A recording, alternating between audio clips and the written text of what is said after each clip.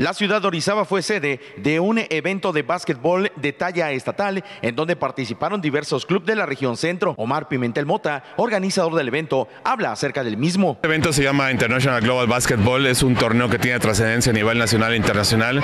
La sede nacional va a ser en Mazatlán en febrero y posteriormente hay un internacional en Colombia. ¿Cuántos equipos participan? Ahorita están participando 30 equipos en diferentes categorías de 2013, 14 hasta 2005, 2006.